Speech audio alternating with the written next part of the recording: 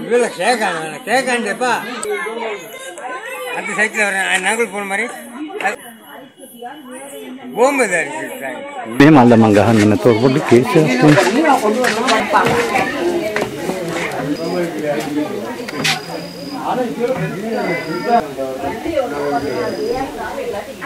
మే బొరుగు అబ్బి మే ఎండగో మీ నగల బలండి మీ కట్టేస్తాం మంగ హత్తదారు వెళ్ళువా මේ මං තියෙන කැටේ අය නායි මම බලන්න. දුනුත් යනවා අත යනවා. තියෙන්න බෑ. හොඳට පේනවා.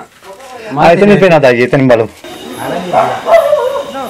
අත ලොකු ගා මෙච්චර දෙන ගා කඩාගෙන ගිහිල්ලා ඒ හොඳ.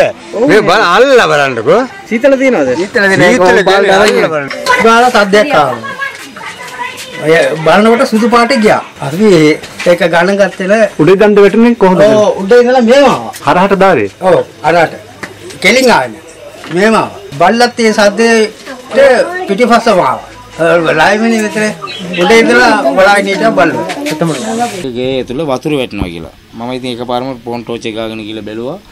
උඩ ලොකු කැටයක් තියෙනවා වතුර වැටෙනවා අර මෙයාගේ අර වාලේ දාලා තියෙන ලීයත් කැඩිලා තියෙන්නේ. පළවෙනිකාගේ රුස් කාල සද්දයක් පිටින් ආවා.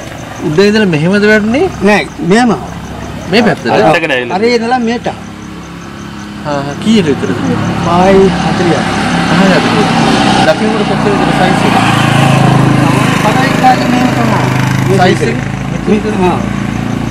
ආ හා.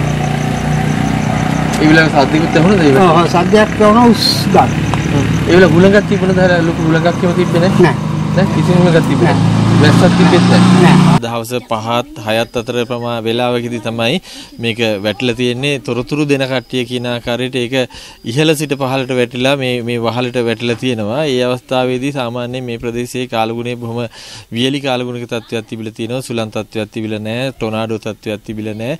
සිසිල් තත්ත්වයක් තිබිලත් නැහැ. ඒ නිසා මේක කුමන ආකාරයෙන් සිදු වුණාද කියලා කියන්න අපහසුයි. කෙසේ වෙතත් මේ බරක් ප්‍රමාණයක අයිස් කුට්ටියක් ඇද වැටීම අ, සාමාන්‍ය තත්ත්වයක් නෙවෙයි අසාමාන්‍ය තත්ත්වයක් බවට තමයි අපි අපිට නම් නිරීක්ෂණය වෙන්නේ සාමාන්‍යයෙන් වියලි කාලයේ අවසානයේදී බදුල්ල දිස්ත්‍රික්කයේ යම් යම් ස්ථානවලට අයිස් වැ- වැසි වැටිලා තියෙනවා. එතකොට කුඩා කුඩා පාට- කොටස් විදියට විශාල ප්‍රදේශයක පැතිරෙන අත්දැකීම් අපිට තියෙනවා. නමුත් එක කි- එක ප්‍රදේශයක් තුල මේ වගේ අ, කිලෝ 50කට ආසන්න ප්‍රමාණයක වෙන්නේ නැති කියලා අපි විශ්වාස කරනවා. දැන් මේ වෙනකොට ඒක යම් ප්‍රමාණයකට අඩු වෙලා තියෙනවා.